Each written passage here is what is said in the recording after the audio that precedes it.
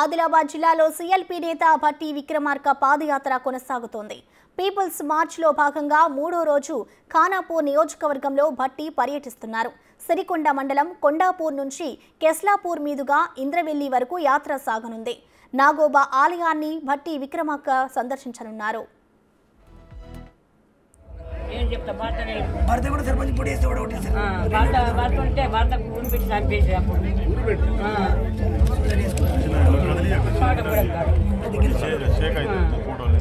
అవా నీలాంటి వాళ్ళు ఇళ్ళకి వస్తుంది నా పోరాటం పద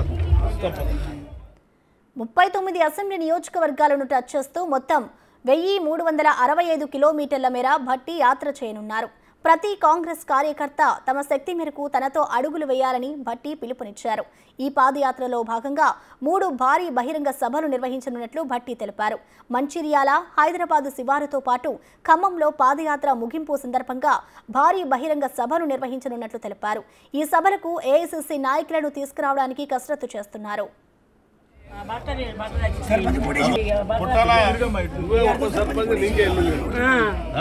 నా కొడుకు సార్.